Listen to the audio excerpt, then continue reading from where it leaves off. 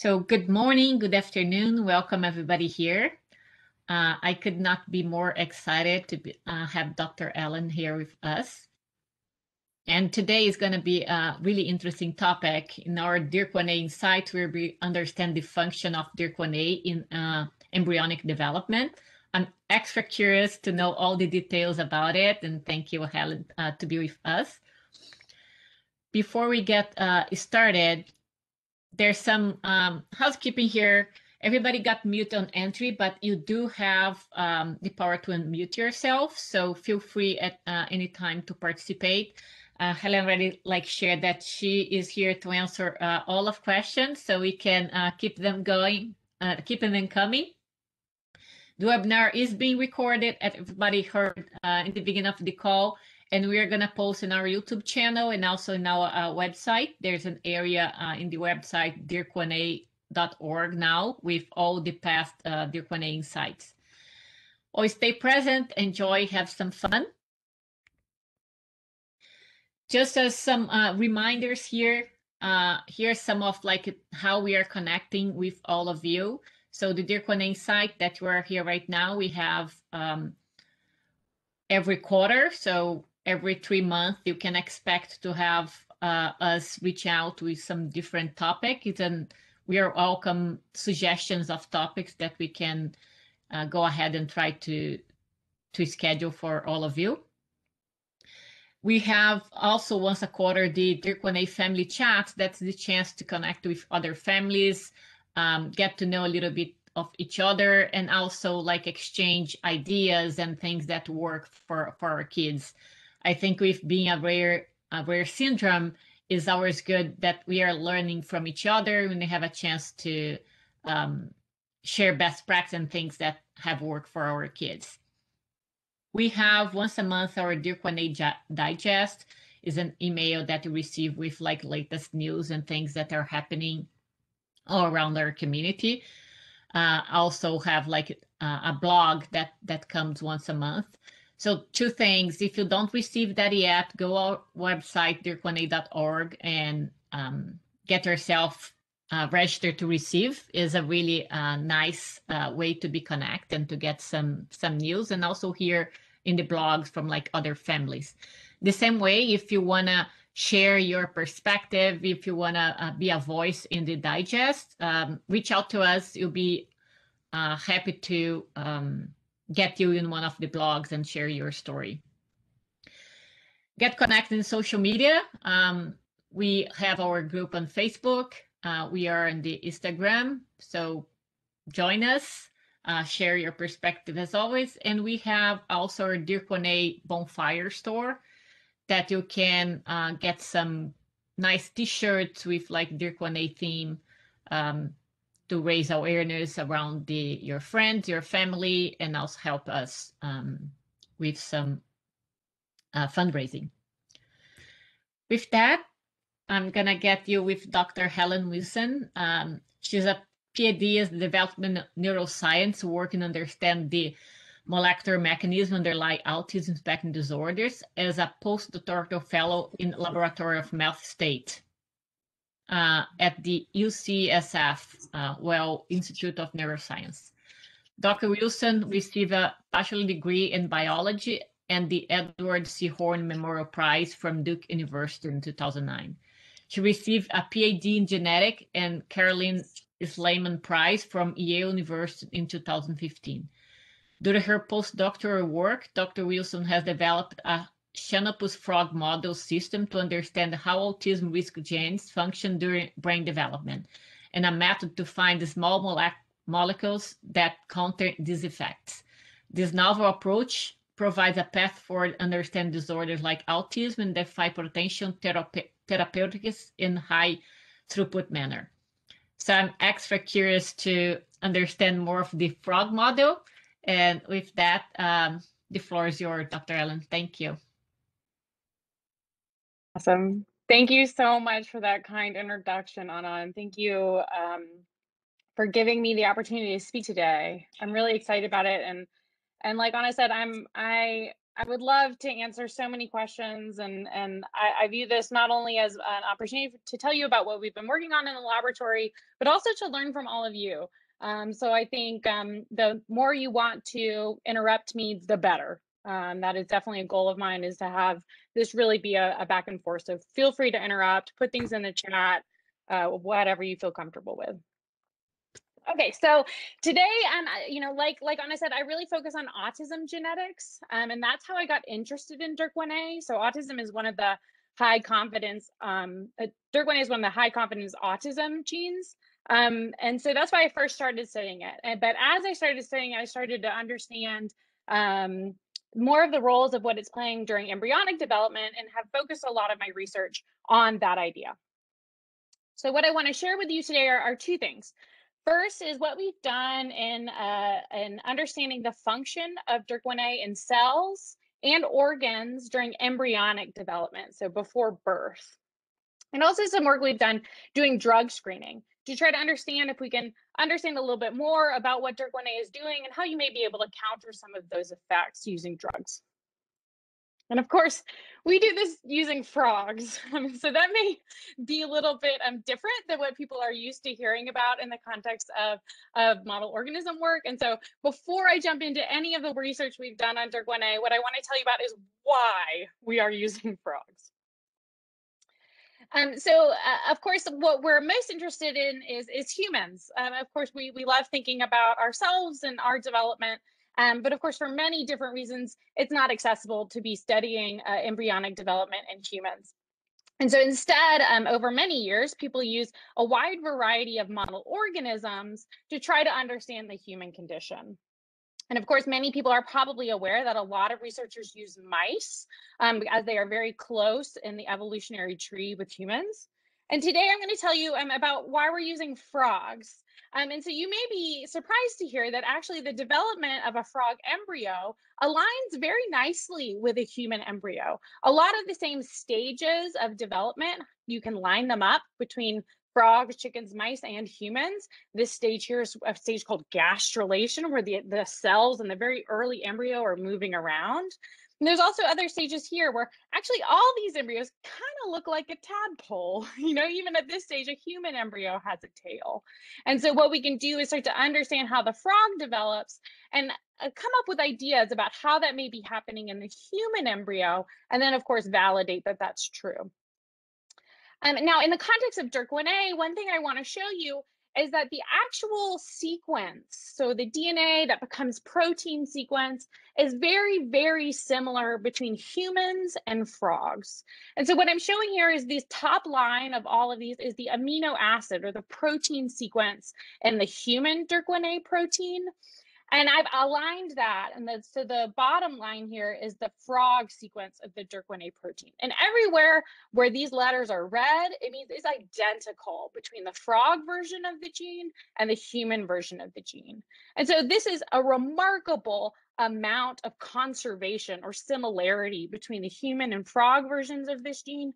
And so that tells you that the function of this gene is likely to be conserved between frogs and humans, is that understanding what DYRK1A does in the frog can lead us to ideas about what it's doing in the human. There are also a lot of just technical reasons why frogs are a really nice model system to study genetics. Um, again, their DNA is very similar to that of humans for many of these genes. But what's really nice from an experimental point of view is that one pair of frogs, there's a male and there's a female, will lay over 4,000 embryos in an afternoon, and we can manipulate each one of those embryos. So, for example, in one afternoon, we can get 4,000 embryos, and in each one of them, inhibit DYRK1A and then watch and see what happens. And then again, um, what's nice is because you have so many and they're aquatic, we can do drug screening on top of this to try to understand what different small molecules will do to that effect of manipulating DYRK1A. So here's what a typical day in the lab looks like for me. Here's a pair of mating frogs. Each one of these little dots is an embryo and we can watch it. And this is a time lapse video I took watching all those first cell divisions of, of embryonic development right from fertilization all the way. We can watch them all the way until they're swimming tadpole, behaving, moving around, social behaviors. Um, and so this is a really remarkable model system to understand what genes do during development and then to do drug screening to try to modify that or change it a bit. Okay, so the other really cool thing about frogs, uh, which was one of the main driver of why I chose it for my autism project, is because we can make half mutant tadpoles. So because we can catch embryos where they've just done that first cell division. So now instead of one cell, they're at the two cell stage. And we can physically take a needle and inject what's called CRISPR, which I'm sure a lot of people have heard about in the news, but it's this revolutionary technology where we can actually go in and, and mutate one gene of interest and have it be very specific and very controlled. And in this case, and what's specific to frogs, is that this cell stays on the right side of the body and this cell stays on the left side of the body. And so then what happens is once it becomes a free swimming, behaving, eating tadpole, all the cells on the right half of the tadpole have a mutation of interest and uh, you can compare that to the other side of the tadpole that does not have that change and really start to understand what happened when that gene was mutated. So that's a big advantage of frogs and that you really can't do in mice chickens any other model organism Okay, so this is an example of what that looks like when we mutate a gene involved in eye pigmentation. And so you can probably guess that is this half of the tadpole where it carries the mutation for um, an eye pigmentation gene. And so what you'll see here is an albino eye on the mutated side, and there's the this the side that has not been manipulated that still has pigmentation on the eye. So you can do this half and half comparison. That's really um, an advantage for understanding what genes do during embryonic development. These tadpoles are also exceptionally beautiful. This is a staining to be able to look at all of the neurons in the entire head.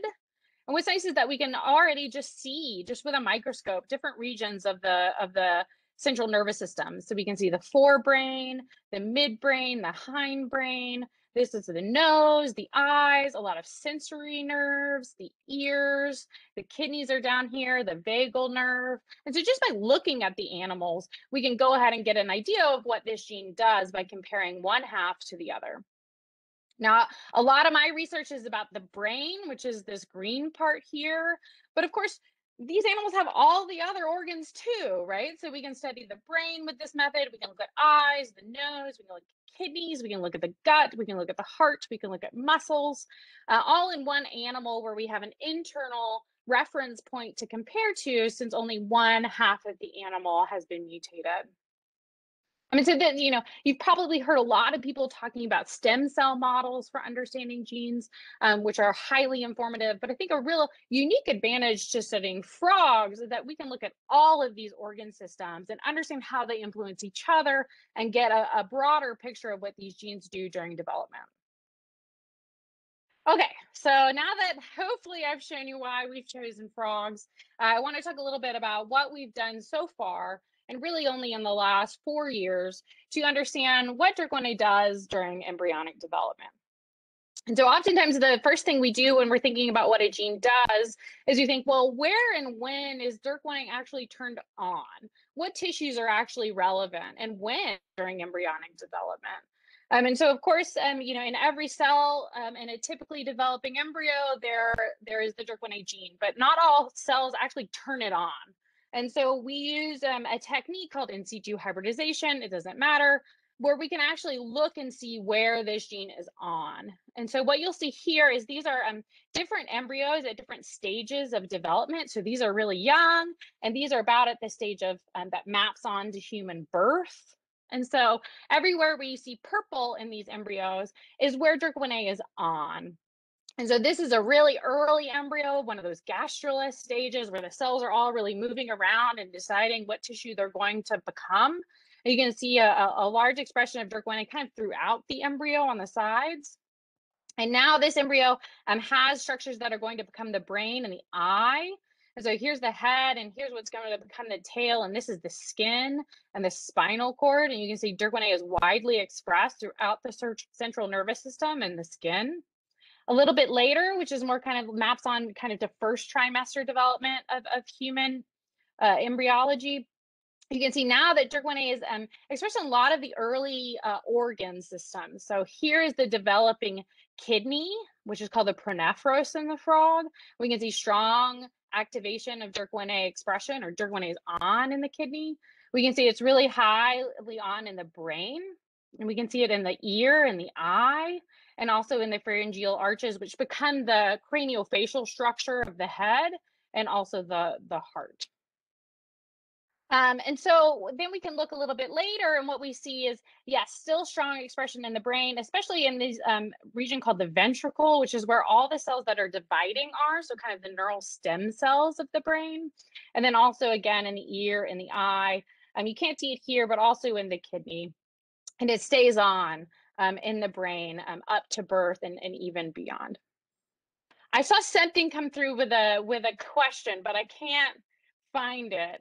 do you want to stop as we go, or should how do you want to? So, yes, I I ask here. So Sabina Great. is asking if you have any experience with uh, stem cells treatment, and if so, what are the outcomes? Okay, so so in that context, I'm actually therapeutics in terms of stem stem cell treatments. Um, so I don't have any expertise about that. Um, I think uh, maybe at the end we can talk about different uh, methodologies that are, people are using to do treatments and gene therapies. I think that would be a productive discussion, maybe at the at the at the end. Um, and so I think, uh, but that's certainly not my area of expertise. But I'm happy to talk about it um, if that's helpful. Somehow I got into an annotation. Thank you. Okay, good. Here we go. Perfect. Um, so, so this shows us that it's it's present in a wide variety of tissues throughout development. Um, but the next question we really wanted to ask is, you know, we know it's in a lot of different tissues, but where in the cell is DYRK1A? Can we understand a little bit more about, you know, yes, it's in all these tissues, but what is it doing there during embryonic development? And so this is what we found. So this is um this is one cell here outlined here. And what you're seeing here are these, these pink things that come out of a cell that are called cilia. Um, and I can talk a little bit more about what cilia are. Um, but what you'll see here is the pink are the cilia and DYRK1A, what we're doing here is labeling the protein with this green fluorescence. And so what we're actually see is these, these puncta, these little spots of DYRK1A along these cilia, and then also at the cell membrane um, surrounding each cell. And so cilia are a really important structure within cells. Um, in some cells, they act as a really important signaling center for one cell to talk to its neighbor cell. And in others, it really shows a, a, an important role for actually moving fluid. So in an airway, for example, it's a highly ciliated tissue, and it's actually moving debris and things throughout the airway to clear it. And if there's issues with cilia, that can, yeah. Sorry, just before Please. we we move, like when you were saying like the choose like before this one, there's a question here. If um you notice DYRK1A uh, with the gut uh, during the development too. Uh, yes, so you can't see it quite here. It's kind of on the belly of the frog a bit here. You can see it a little bit here. And so, yes, we do see it expressed in the gut. And we think um, that um, I, will talk a little bit later about some of the work we're doing on DYRK1A in the gut. Absolutely. That's something where we've just started, but really excited about. Yeah, absolutely. Okay, so we see it on cilia. And so cilia are these really important signaling centers, and also these, these centers actually move material um, through the tissue. And so when cilia are affected, that can lead to a wide variety of different effects on many different organ systems. So here I'm just showing some of the organ systems that are affected by cilia. It can lead to congenital heart defects, organ laterality, respiratory problems. Again, I told you that it's in the, the lining of the, uh, the airways. Kidneys are really dependent on cilia, as well as the reproductive system. Um, a lot of tissues rely on cilia for their functions. now, the other place that we saw DYRK1A when we looked in cells was on a structure called the mitotic spindle. Um, and so what we're seeing here is, um, again, green is showing us where DYRK1A is, and we're labeling the mitotic spindles now in, in pink and the DNA is now in blue. And so when a cell goes from one cell to two cells, it has to assemble this mitotic spindle shown here in pink that actually physically separates each copy of the DNA. Excuse me. And so that um, separation of the DNA during cell division is, of course, required for all cells to be able to split their DNA and go from one cell to two cell. What we see is DYRK1A localizing right on the mitotic spindle during cell division. Excuse me, I have a frog in my throat. it's because I'm talking too much about frogs. Okay. Um, so so so I've shown you two things. I've shown you that DYRK1A is localizing on cilia, and I've shown you that DYRK1A is also localizing on this mitotic spindle during cell division. And actually, those two structures are a lot more alike than you might think. And so both of them are dependent on a structure called microtubules. And so the cilia is full of microtubules, and that's where we see DYRK1A. And then as a cell undergoes um, a cell cycle, so it goes from one cell to two cells, it assembles this, this spindle that's made up of the same kinds of proteins as the cilia to actually split these chromosomes.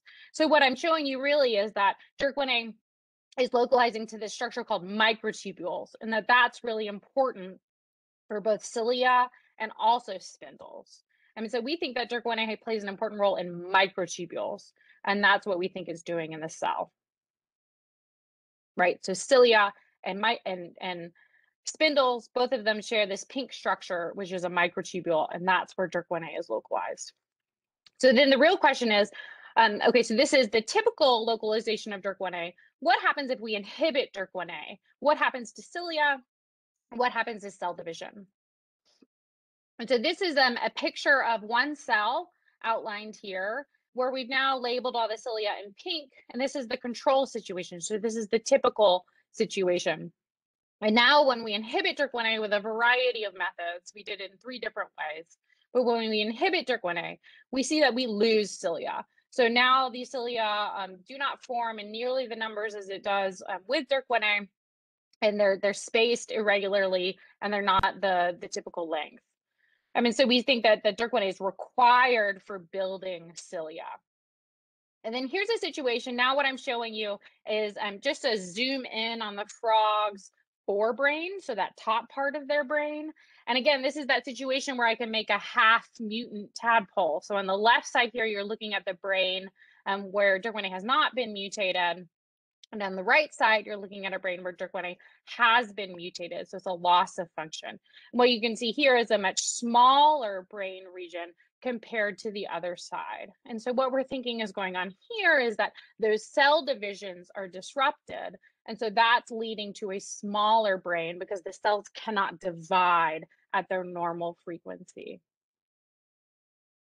Okay, so when we're thinking about stem cell therapies and things like that, this this may be more relevant. And so one of the things we wanted to do was to take that situation I just showed you where we've mutated DYRK1A on one half of the frog brain.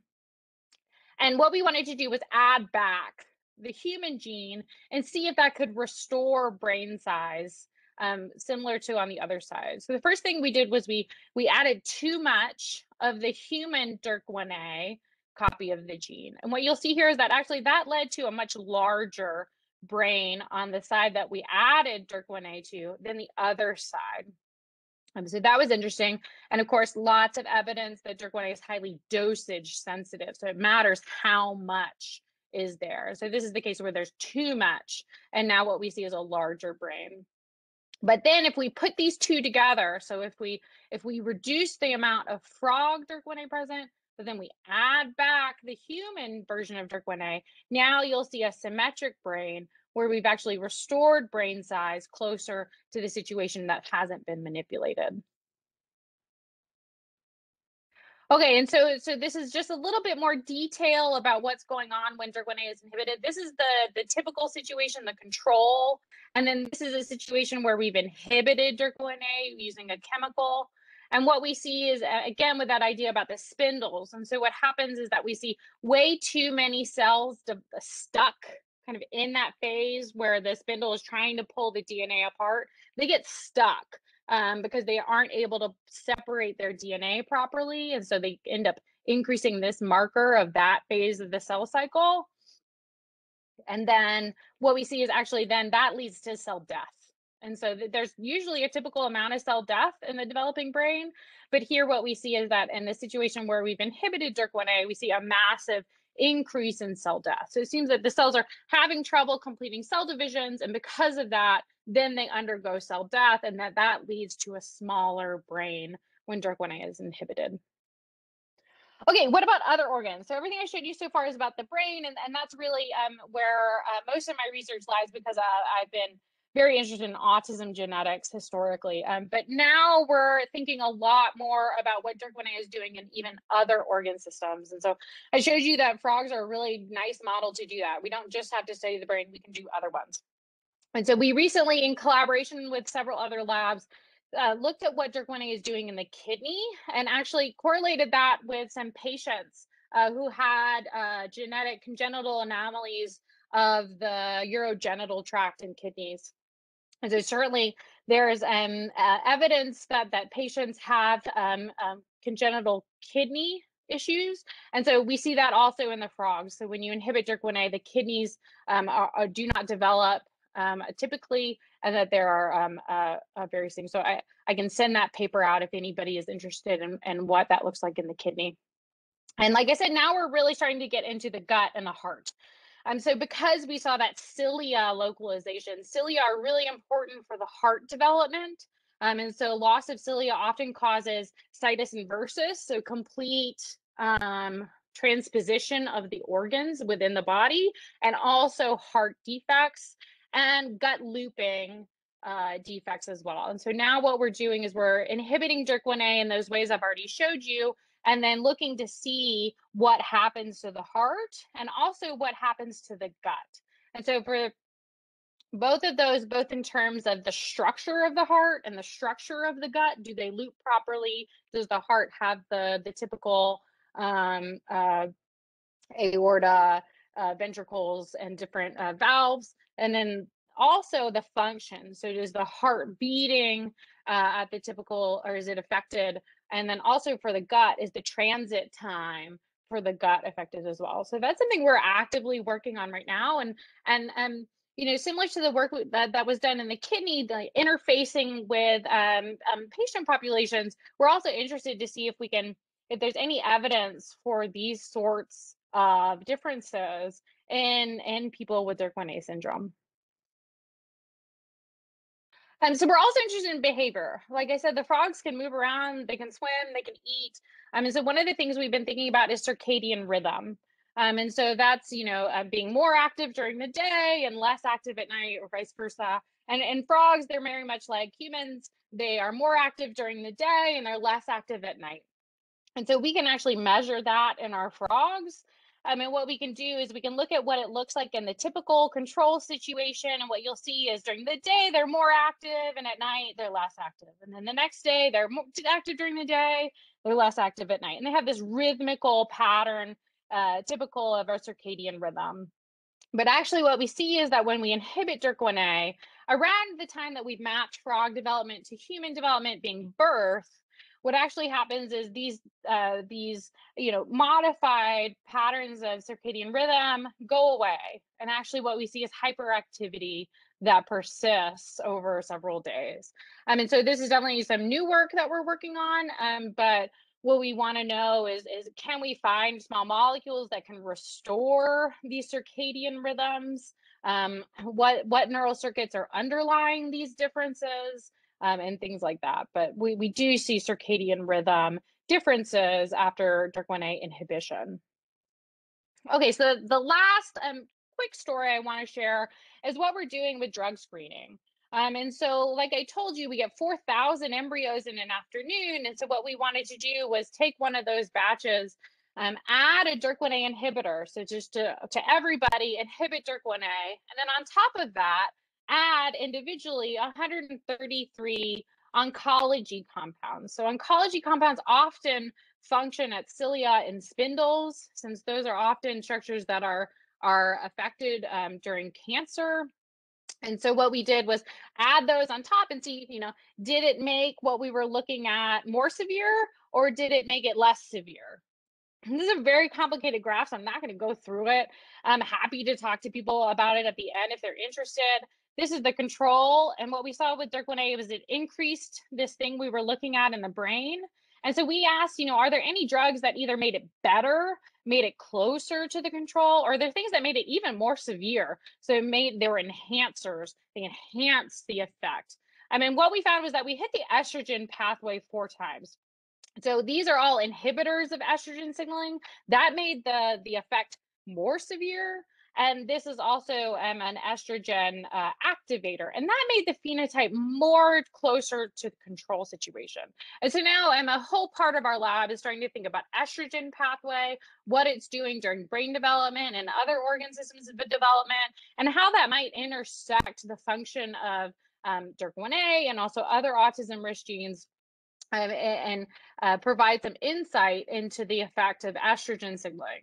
Now, in no way am I saying that estrogen is a potential therapeutic target, because of course there are way too many side effects in terms of sexual differentiation.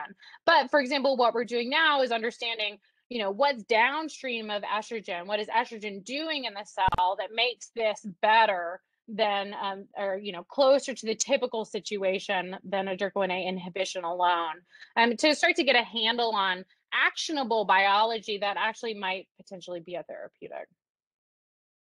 Okay, so just to summarize, and then please ask me as many questions and and and let's chat. You know, so what what I showed you is that human and, and frog DYRK1A sequences at the protein level are very similar, and that human and frog development is probably a lot more similar than you ever thought. You really have an inner frog.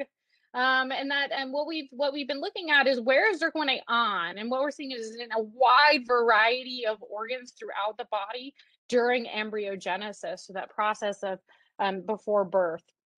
And we found that DYRK1A is important for cilia, those signaling centers and those movement centers in the cell, and also its spindles, which are important for cell division.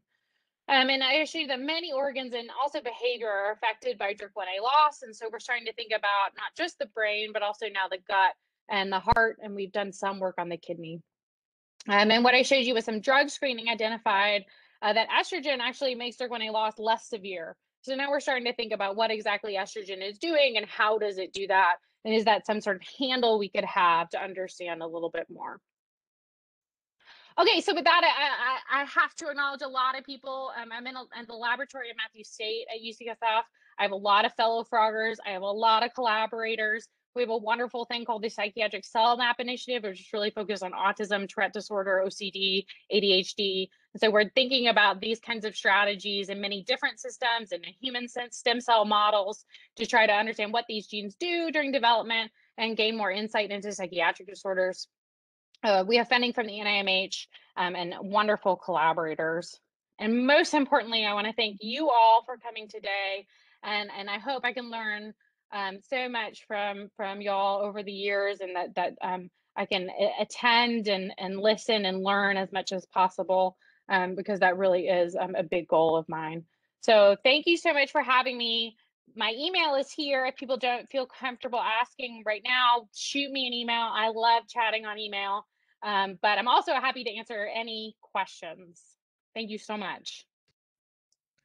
Maybe I'll stop sharing. Thank you, Helen. Uh, it's I'm amazed. Like it's it's really nice to to learn, especially like start to seeing uh, things that we see in the community, right? The, the question about gut that come from uh, Jana, and like things that we see in our kids all the time to kind of yeah. uh, validate that in the development where uh, DYRK1A is affecting. So, thank you. Um, so everybody, uh, the the microphone can be unmute, so you are welcome to ask question um, yourselves, or please put in the chat, and I'll get here from you.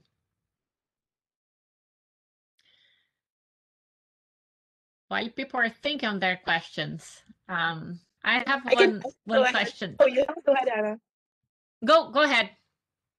Oh, my question was, I have it in monitoring our Facebook site. I know in my daughter in, in particular, she is five. I haven't seen many kidney issues with her, but you're saying there's a lot in frogs. And I'm wondering if anyone has had the, those issues with their um their kids with DYRK1A or what kind of issues should we be maybe looking out for we don't notice? I don't know. Yeah, so so there is one paper describing it in a patient population about um, congenital anomalies of the kidney and urogenital tract. Um, and so that's a that's a paper by um, uh, Alexandria Blackburn um, on our Amy. I can send you that paper. Um, and so that actually describes what they've seen, and it, it um, in the patient population they had, which I think was 19 people with DYRK1A syndrome. Um, I think almost all of them had one of these um, um, um, differences. And so um, I'll refer you to, to that paper. And that's where we we did some of the frog work in that paper where we could validate that, yes, we see similar things in the frogs to what's been described in, in the clinic. So I'll send that paper out. Um, I, am not a clinician. I don't know a lot about what congenital anomalies of the kidney and urogenital tract looks like, um, but that's what it's called. So CAKUT. I'll send you the paper. Thank you. Uh, yeah, I'll, I'll, be curious to to read more of this, this paper. Like, kind of, uh, I I didn't notice anything in Luna for for kidney, but uh, Luna is four, so really close to to the same age of your daughter. Um, but one thing that I noticed, the the doctor didn't pay too much attention on it, but uh, us being curious, right? Like every time that we do some blood test, there's some numbers that are not quite in the normal area. Uh, then when I was doing my Google uh, research about it, they have to do with kidney.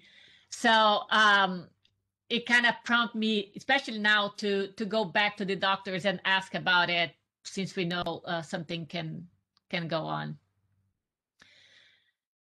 We have another question here from Janet. Like, uh, is estrogen the same as oh oestrogen?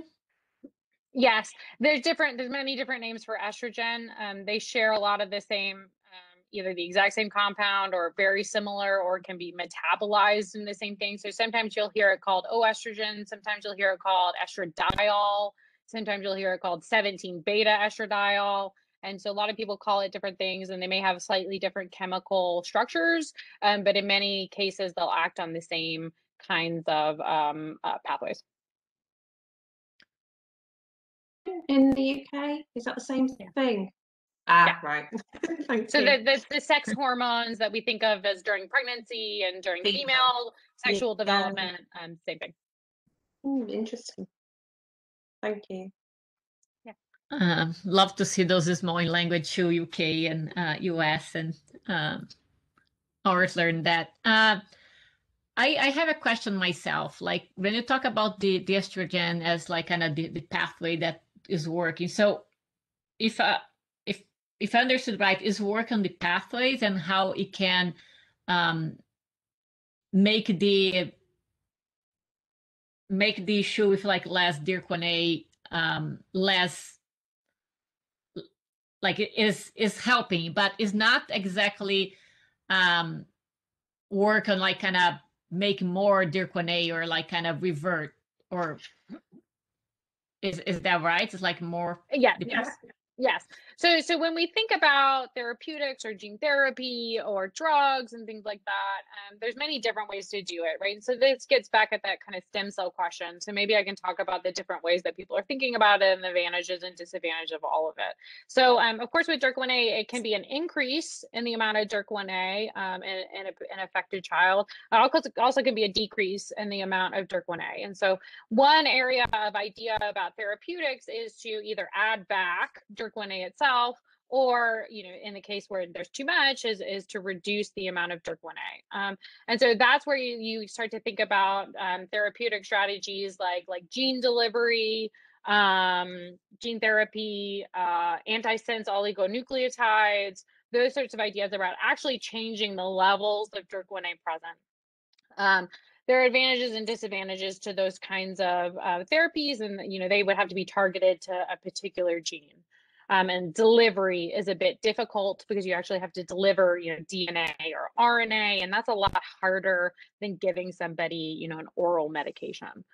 Um, another way to think about it is that stem cell idea that was brought up earlier. So could you um, replace the stem cells? Um, um, and so instead of, you know, so in an affected child, maybe there's less DYRK1A, but you could add in stem cells um, that have a typical amount of DYRK1A and see if those can populate organs that really need DYRK1A to function and compensate in those sorts of ways. And so that's very new biology. I think it's still very premature. And there's a lot of people who want to say that it's uh, prime time. Um, I'm not one of those people. I think there's a lot still to learn about adding stem cells.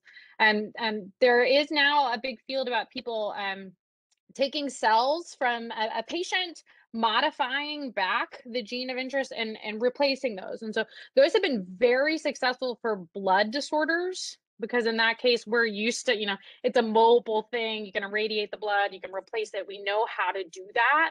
Um, and so for blood disorders, that's definitely prime time. For other organ systems, we're not quite there. Um, there's some exciting new work now in eyes and, and gene replacement and stem cell replacement for eyes. Um, so that's coming online. Um, but for other tissues like kidneys, liver, it's a bit harder to do, but I definitely think it, it, it will happen in the future um, with the right regulations. And then, uh, of course, the last and most traditional method is to have a drug um, something that can be delivered orally or an injection or um, an infusion, something like that. Um, and so that in many cases is the most convenient and you know, uh, less complicated way to do it. Um, but that that will not actually, so this estrogen thing I talked about, that will not actually itself increase the amount of DYRK1A. What it will do is it will compensate downstream of DYRK1A. So you can imagine if DYRK1A is normally required to turn something on, what you could do is and then you lose DYRK1A, so that thing goes off. Instead of affecting DYRK1A, you could just cut to the chase, get to that downstream thing, and have a drug that actually increases that itself. And so that's what we're thinking that estrogen is doing. It's not actually increasing DYRK1A per se, but it's acting on the same downstream effector that DYRK1A is. Make sense? Yes, thank you. Um, in the same, there's another question here uh, in the chat. Uh, so would it be useful to the oncology drug? Was there, uh, oh, no, hold on. So it'd be useful for us uh, all to get estrogen hormone level established and compared to normal level uh, of a child with the age and sex? So, so it's, it's not, so um, that's a very interesting question. I wouldn't go out and do that. I don't think it will necessarily be informative. Um, so I think what's happening, and at least our frog situation, is we're adding a lot more estrogen in. Um, and so we're adding non physiological, way too much estrogen onto these frogs and getting this compensatory effect. Um, and so I don't think that necessarily hormone levels will be different in um, you know a DYRK1A uh, syndrome situation, um, and so I don't think that you would necessarily pick it up. Um, I also haven't looked, so I don't really know. Um, if people find that, but for some other reason, I would be interested in that. Um, but um, of course, you know, hormone levels are very different between males and females, so that difference already exists. So um, I don't know. It's a, I'm going to think a lot more about that now. That's a really interesting question. I don't know. Thank you.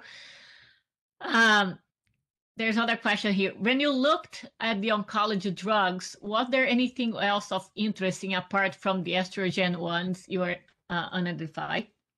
Yeah, great yeah. question. And so we we just published this work. So it's in it's it was just published in Neuron. Um, I, I sent the paper to Amy, but I'm happy to send it to anybody else who wants to look at that full list.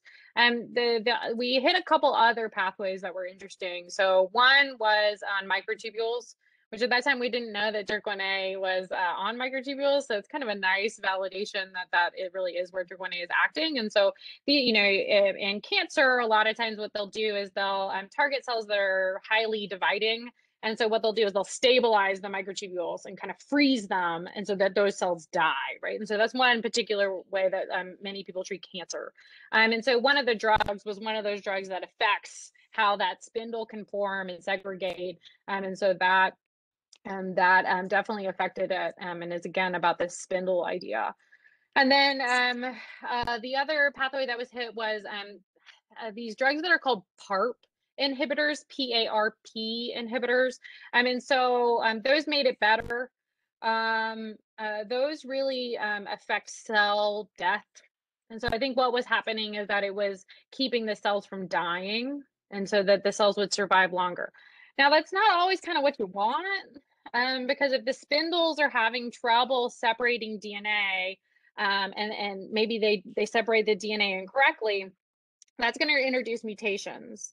Um, and so you kind of want those cells um, um, to die in many sense because um, otherwise they could lead to tumors or um, um, kind of bigger problems about uh, introducing new mutations.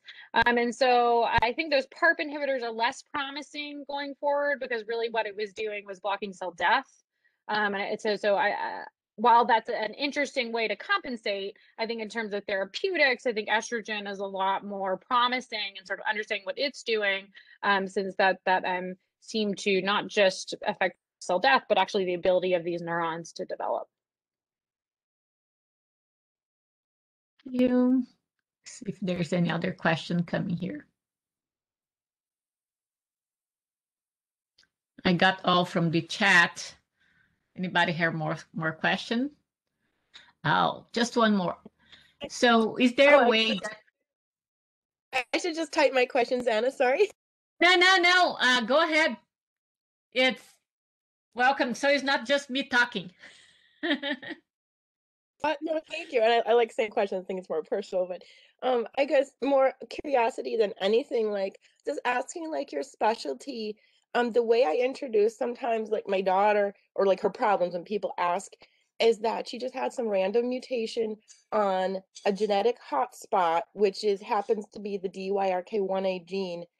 Um, and we all have mutations to just some affect our development, and hers was on that hotspot. And I'm just wondering, is, is that kind of like your folk? It sounds like you do a lot of autism research with the DYRK1A gene. Is that kind, would you say that's your specialty, or do you like so you study like Down syndrome and all the other things too, or or like your his your background in understanding the DYRK1A gene? Yeah, so so I think how you've described it is such a perfect way to describe it. We are all walking around with what are called de novo variants. And so those were variants that happen maybe during the formation of egg or sperm or shortly after, and we all have some. Um, and so it just depends on where they land in terms of what happens next, right? And so I think that's a perfect way to describe it. Um, and so is that my specialty? So certainly um, the genes I study are all all hotspots. Um, so they're genes where um, uh, each one of them carries a very large effect when varied. Um, so like you said, um, um, I, I focus on the ones that when they're varied lead to autism most of the time. But as you all know with DYRK1A, it's not just always autism. There, there can be other, um, a whole syndrome associated with each gene, right? And so I study genes like ADNP, which now there's a whole syndrome for ADNP, and it's the same thing. You know, we picked it up because it was it was um, highly causative for autism, but kids with ADNP syndrome have a whole um, spectrum of of different um, um, characteristics. I mean, so a lot of those genes are the kinds of genes that I study, and so um, historically I've been studying the ones that are autism related, but now starting to get into Tourette disorder, obsessive compulsive disorder, ADHD, um, some other psychiatric disorders too.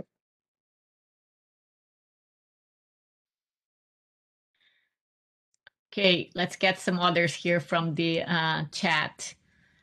Um, so is there a way that we can take forward getting some of these drugs trialed?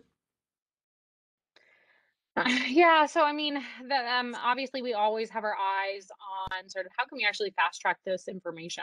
Um, and so part of this stuff I didn't tell you about today is um, what we then did with estrogen, for example, is we went into human stem cells um, and inhibited DYRK1A in human neurons in a dish, and then added estrogen and said, does that make it better? And it did.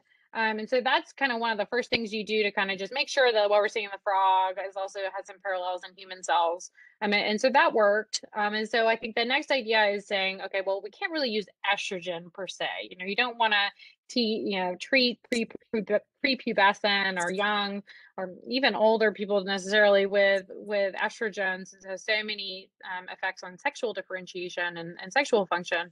Um, so then what we wanted to do was understand what it does during development, and we figured out that what it does is inhibit a pathway called sonic hedgehog signaling, which is a bizarre name, and it's a historical from fly work. Fly people are very quirky and like to call things it's called genes different weird names about what it looks like in the fly. Anyways, it's called sonic hedgehog signaling, and that's what estrogen inhibits.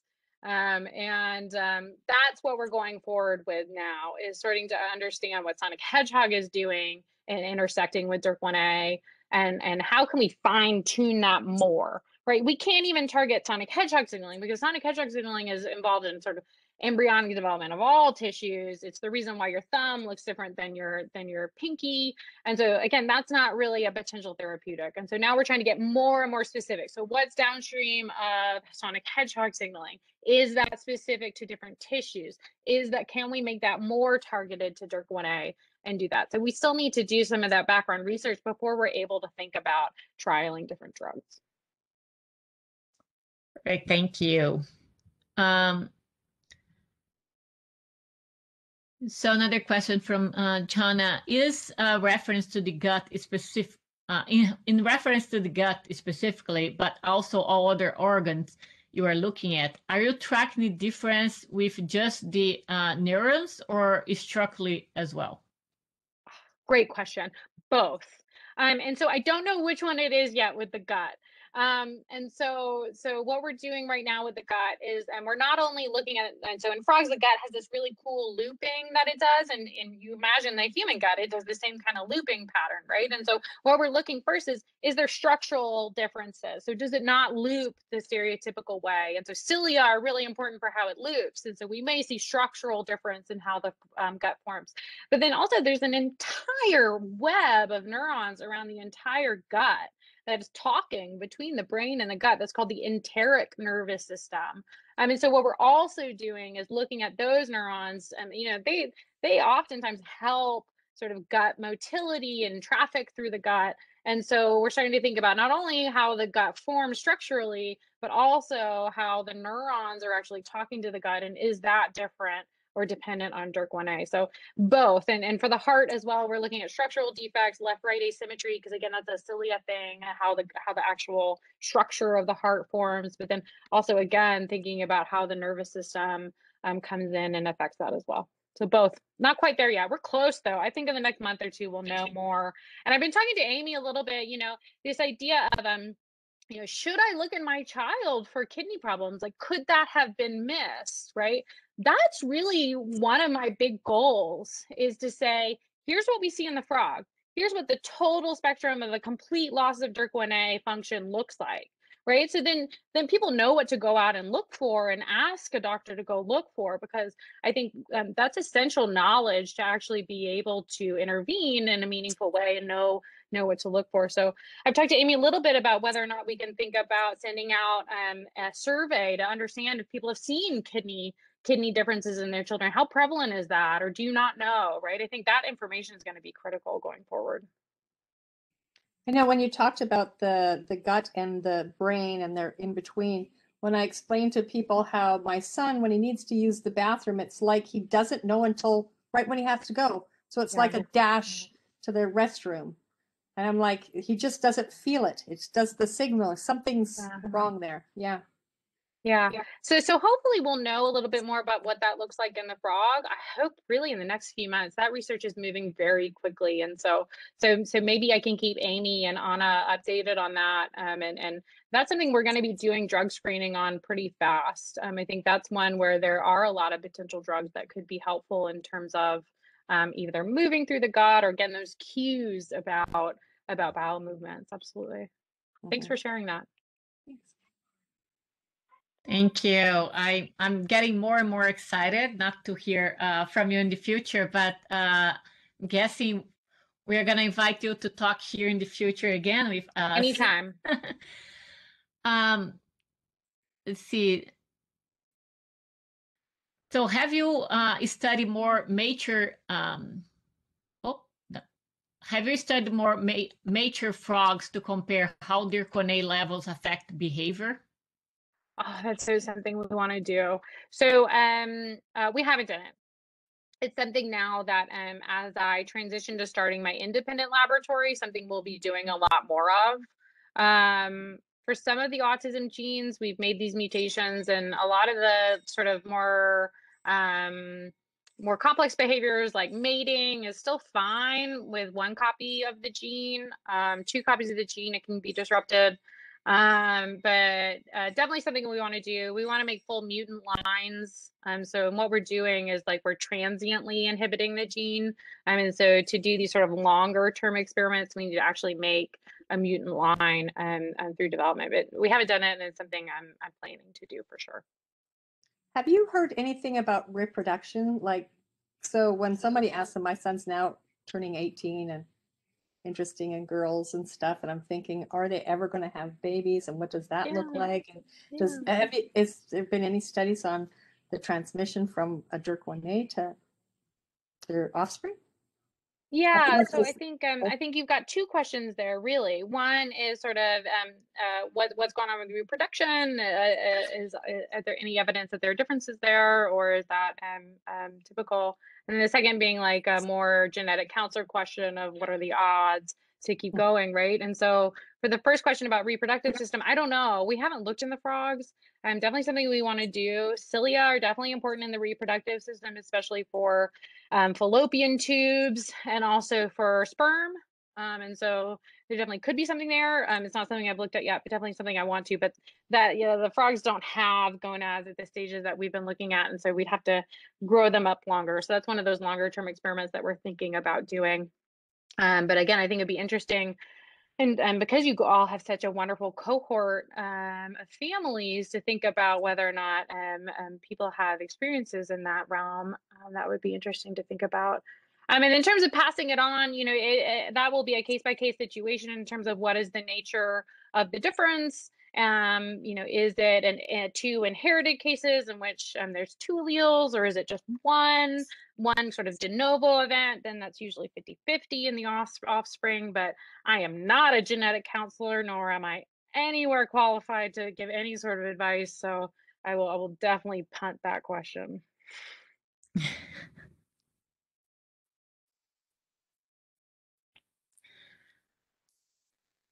Any more questions? Yeah, Uh, GI. just People are very to- interested in GI. Is that the thing that's like the that that's on people's brains? Is GI issues? That is that one of the more challenging aspects? I think there's a definitely a lot of GI stuff, um, Yeah. and and maybe um, what I'm what I'm just kind of uh, maybe thinking, you know, out loud here is that uh, maybe the kidney and the um, uh, the kidney or the what is how did you say that the gas Yeah, or urogenital tract. Yes. yeah. Um, maybe those are less obvious as to what is um, happening, uh, trans- transferring over to the humans versus the frogs, right? Um, maybe it's less obvious, like um, uh, like Carol was saying. Maybe it's more of uh, you know using the bathroom and you know, um, but the GI issues I think are are much more obvious, like. Um, Yeah. definitely chronic constipation is, is um, one of the um, common ones, but then also just uh, the eating, and we we often wonder what's happening there. Is there um, a slow uh, mort- mortality going on there, or what's going on, right? And um, and it looks a little different for you know some of the families. Yep.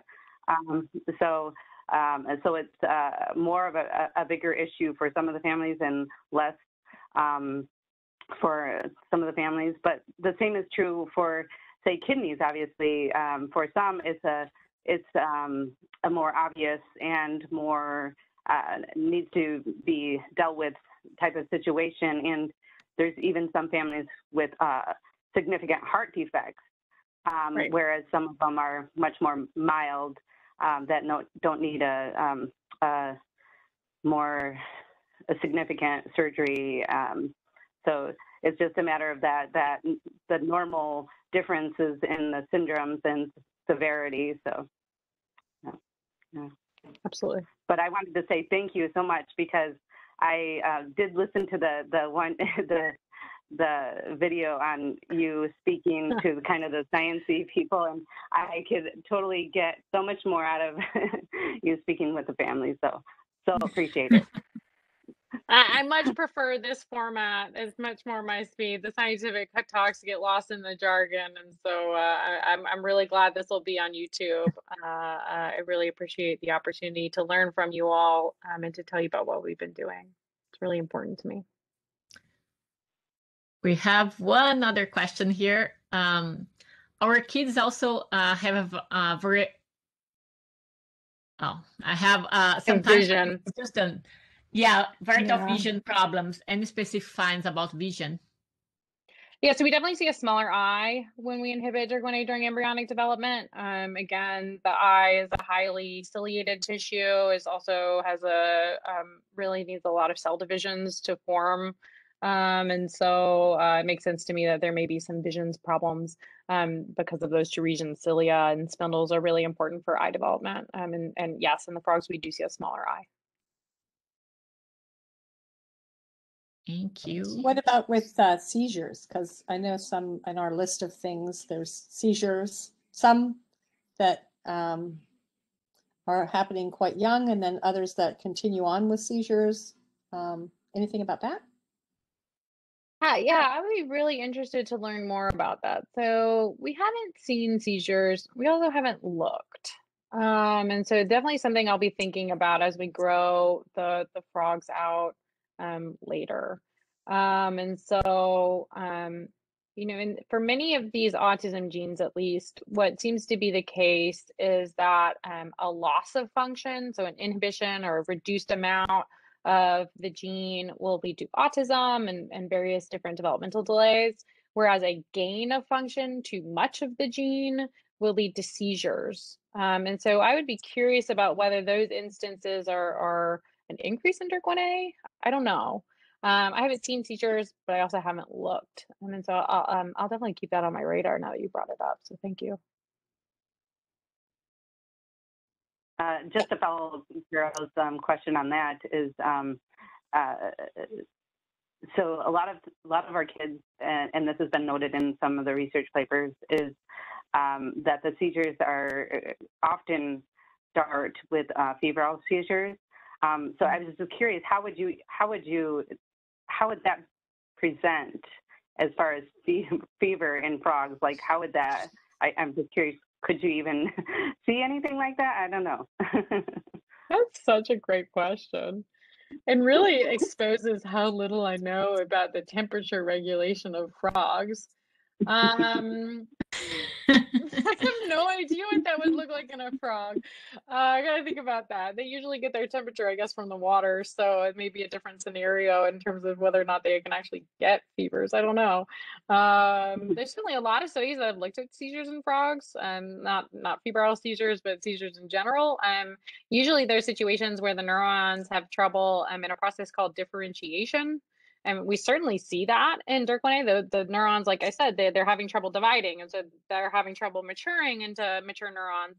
Um, and so that same process of differentiation is affected when DYRK1A is lost. And so I think that could definitely be a mechanism that could lead to seizures. And I think it would depend on the particular variant within DYRK1A in, uh, in terms of whether or not that happens. You know, some different places in DYRK1A are going to be more severe than others in terms of what they look like in a child. And um, um, I think uh, seizures, yeah, that, that that I haven't looked at it. I don't know what it looks like in a frog. Cheebrow. I gotta learn about temperature in frogs. They're cold blooded. That's embarrassing.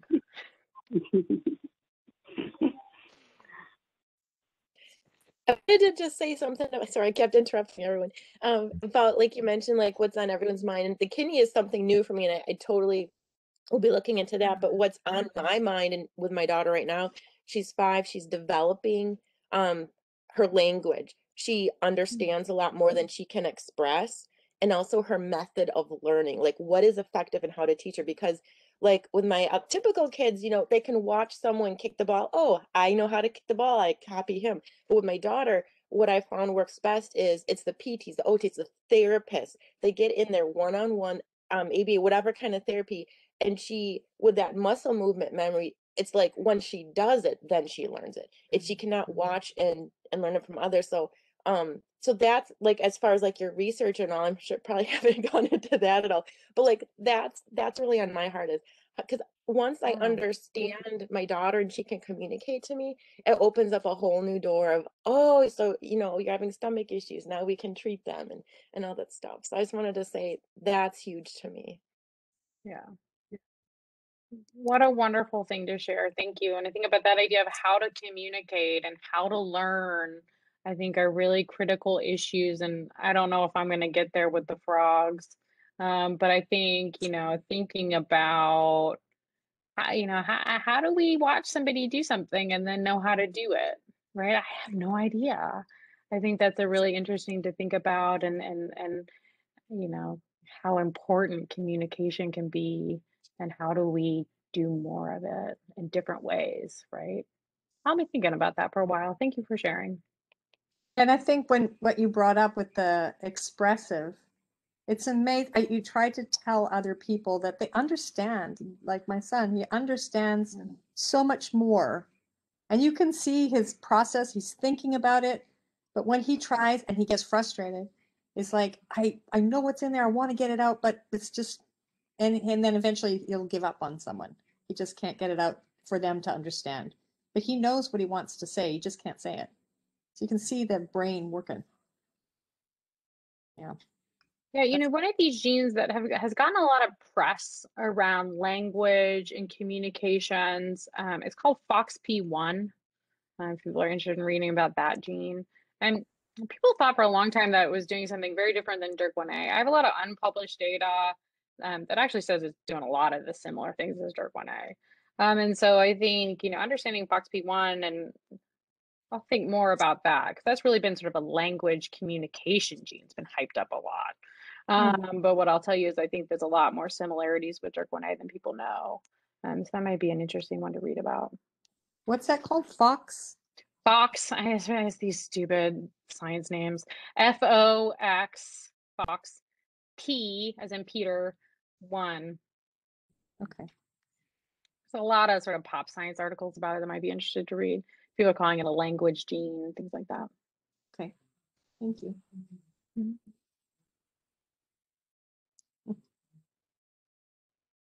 Okay, yeah, and then you have a Facebook site. I'm not on Facebook. So Amy, if it's okay with you, I'm gonna send you a bunch of papers and if you want to link them on Facebook, the ones I talked to you about today, I'll just send you PDFs or links or whatever. That's a good um, comment. Uh, the comment about the paper about the eye development uh, in DYRK1A. Uh, this is a study that was done in the UK. Uh, we plan to to invite them. Uh, just for you guys to know, we plan to invite them to to speak here with us, so we can all uh, ask questions and understand a little bit more. But in that said, it's is research, and I have to thank you, uh, the families that did share their input to to make the, the research available, because we we all need each other, right? The uh, we need the science, uh, they need information from us, so. Uh, I know sometimes research sharing the questionnaires and the stuff can be a lot because a lot of questions, a lot of things that we need to answer and interviews. But uh, I would suggest everybody, if you can, put some time there, share their perspective, because that's the only way that we're going to be uh, able to learn more and to understand more of our kids if we can get the power of all of us together sharing the information and participate in, in research. Uh, right now that I'm aware, we have uh, a research that's still collecting information in Australia about speech. So if you did not get a chance to uh, participate uh, in our website, there's more information how to, to get in contact. And they have the questionnaire available in many languages. So if you are not so comfortable with English, there's a lot of other language there um, to contact. And also Simon Searchlight, um, that's also still collecting information um, from from patient. They do have Spanish. They do have some other language too. So all those new research you can find in dyrk1a.org. Uh, and even though it can be many, it can be like a lot of like different uh, questionnaires to answer. I feel like that's the way that we're gonna learn. So uh, spend some time there. Any other questions?